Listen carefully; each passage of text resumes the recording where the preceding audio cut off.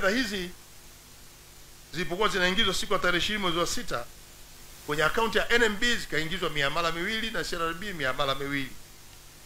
Sasa kulikuwa na shida gani? Kama ni Matinde ni huyo huyo, kwa nini usimuingizie? Kama ni CRDB ingiza zote, wala hakuna restriction, lakini weka mbili na huku mbili tarehe moja.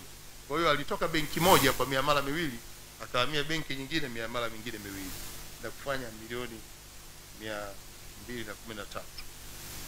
Lakini tulileta wachunguzi hapa.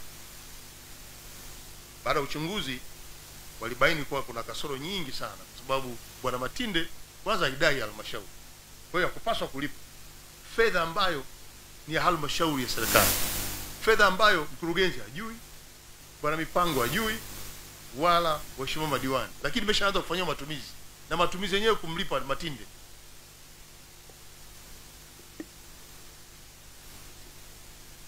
Kwa hiyo hata kitengo chetu cha manunuzi hakijui kama kina fedha na akijua kama kina manunuzi yanayompelekea kumlipa bwana Chacha, na ofisini hakuna vocha, hakuna risiti, hakuna kiambatishi cha aina yoyote wala zabuni iliyotangazwa kulipa milioni mia mbili na kumi na tano.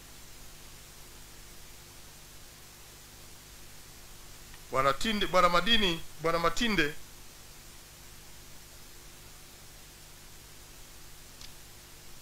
alipo alipopewa hii fedha tulimwenda, walienda wataalam kwenda kumuuliza, we hizi fedha umezipataje? Matinde akasema mimi siidai halmashauri isipokuwa mkuu wa kitengo cha fedha ya wasibu ambaye ni bwana ambaye ni mwekazina mweka hazina. Yeye anasema mimi namtambua kama mweka hazina, alinifuata na kuniomba anipitie fedha kwenye akaunti zangu. Na mimi nikampa akaunti zangu, na aliendelea kueleza kwamba tarehe ishirini na tatu mwezi wa set, mwezi wa sita fedha hizo ziliingia kwenye akaunti zake. Zote mbili za NMB na CRDB, lakini pia akabainisha kwamba fedha hizo zilipoingia kwenye akaunti zake aliambiwa sasa azitoe, lakini katika kuzitoa akaambiwa azitoe milioni mia moja themanini na tisa na amkabidhi bwana Saadi Ishabailu kama ambavyo alikuwa amemwelekeza kwamba ukizitoa niletee. Kashi. Kwa akazitoa kwenye miamala minne, akatoa hapa kidogo, akatoa kidogo, akatoa kidogo kwa siku mbili, alafu zilipokutana, hiyo ilikuwa tarehe ishirini na nne mwezi wa sita na tarehe ishirini na saba. Zote hizi zikatoka. Siku ya kwanza zilitoka milioni hamsini na milioni hamsini na moja au milioni mia moja na moja siku ya pili zikatoka milioni arobaini arobaini arobaini na kufanya milioni mia moja themanini na tisa. Kwa kati ya milioni mia mbili kumi na tatu milioni mia moja themanini na tisa ndio zilienda kwa Chacha. Na Chacha zilienda kwa Chacha na tatu lakini akazitoa mia moja themanini na tisa. Nyingine aliambia wewe hizo kaa nazo. Fedha serikali watu wanapeana tu na huyu huyu bwana Matinde alisisitizwa na bwana Shai Shailu kwamba fedha hiyo itoe haraka kwa sababu ina majukumu ya haraka sana kwenye halmashauri yetu. Mheshimiwa mwenyekiti wa halmashauri, mlikuwa na majukumu gani? amkuwa na majukumu hayo ya fedha hii milioni mia mbili kumi na tatu. Kwa hiyo bwana Shailu Shailu alisisitiza kwamba fedha hii ina, ina shughuli ya haraka na akakabidhiwa mzigo na kwa hiyo bwana bwana Mutu, Mutunzi Ishabailu alibainisha kwamba fedha hizo ziliingizwa. Aliambia tume alipoulizwa, akasema zimeingizwa na mtu anaitwa Aidan Zabron wa TAMISEMI na kusisitizwa kwamba e, pamoja na kuletwa fedha kwenye halmashauri yako zinatakiwa zirudi haraka sana hapa Dodoma kwa ajili ya wakubwa bila kuwabainisha wakubwa wenyewe wakina nani. Hii ni lugha hizo, na sisi sote tunapakapaka matope hivyo hivyo.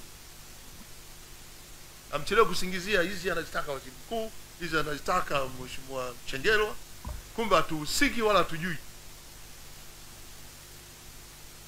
Kwa hiyo zilisitizwa, bwana Mponza anamwambia Ishabairu zirudi haraka, zina matumizi hapa, na bwana Ishabairu kwa Tinda akasema zirudi haraka, zina mahitaji halmashauri. Unaona hizo lugha?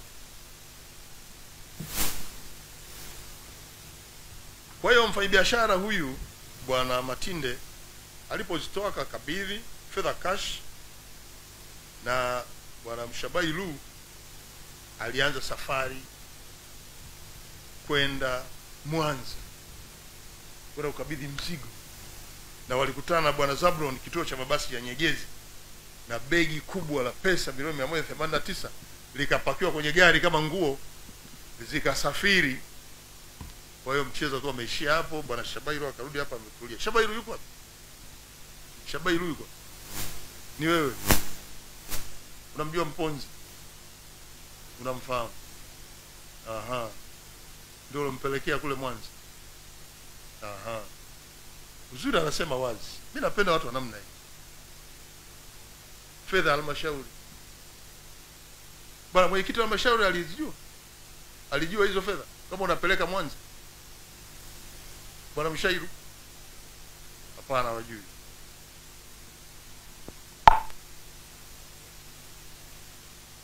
sasa walipokwenda kule alikuwa na milioni mia moja themanini na tisa. Bwana zabloni kule akapewa milioni mia moja hamsini. Kwa hiyo naye alipata na commission. Zibaki ngapi bwana? Ulibaki na ngapi? Mkifanya mahesabu zibaki shilingi ngapi? Milioni thelathini na tisa eh? ndiyo kwa hiyo ilikuwa commission yake kwa fedha ya serikali. Watu wanagawana kama ndizi. Fedha ambayo tulitarajia ingeweza kujenga holi ambalo leo tungekaa ndani tuko hapa nje fedha tunayo lakini na watu wachache wanazila na kuifanya halmashauri ipate shida na kuwafanya watumishi wengine wapate kuhangaika. Wengine wamesimama kule. Lakini fedha ipo lakini mmoja kati ya wengi huyu mmoja asiyekuwa mwaminifu ametusababishia leo tukae nje hapa. Kwa nini fedha milioni mia mbili kumi na tatu tusingeanza kujenga msingi wa ukumbi mkubwa wa kisasa wa halmashauri? Tunamwachaje mwovu mmoja anachafua halmashauri ana anahujumu jitihada za mkuu wa nchi anayetafuta fedha na kwa ajili ya kuwapelekea kutekeleza ilani ya chama cha mapinduzi anaihujumu halmashauri yake ambayo inapaswa kwenda kuwahudumia wananchi na kuwafanya wakuu wa idara washindwe kutekeleza majukumu yao waonekane wakuu wa idara hawana uwezo wa kutekeleza mambo kwa sababu hawana vyanzo. Vyanzo vipo haviendi hawajulishwi. Tunamwachaji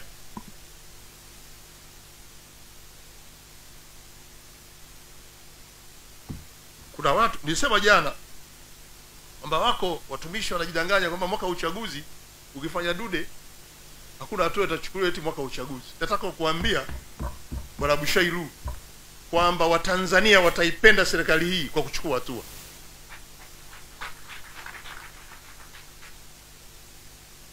Na wanaserengeti wataringia halmashauri yao kama kuna watumishi wachache ambao hawana nidhamu ya fedha utendaji wanapoondolewa na kuwekwa nje ili tubaki waaminifu hata kama tutakuwa tuko kumi. Ili mradi mkurugenzi hajui na kushiriki.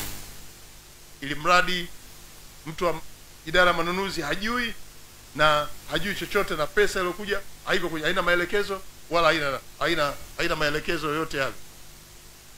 Huyu huyu huyu ni mahakamani moja kwa moja. Rpc mbebe huyu sasa hivi na dpp afungue kesi dhidi yake. Hii ni kesi ya wizi wa wazi. Na kwa bahati mzuri amekiri. Ukitaka kumchukua sasa hivi mchukue mishasema wamekabidhi huko wamekabidhiana. Na yule kule. Bahati mzuri wale kule walishachukuliwa. Kwa sababu wameanza kupeleka fedha kigoma tumewagundua kigoma. Hao hao wanapeleka fedha kigoma hao hao wamepeleka bunda hao hao wamepeleka yaani ni kikundi cha watu wachache kwenye liwizara lile lenye uadilifu linalofanya kazi kubwa nchi hii ndo wanachukua fedha ndo waliopewa jukumu la wao kupeleka fedha kwenye halmashauri pamoja na serikali kuwaamini. Bado wao si waaminifu wote tumewapeleka mahakamani. Sasa leo tunatoka na huyu kwa tunapotoka hapa huyu aende moja kwa moja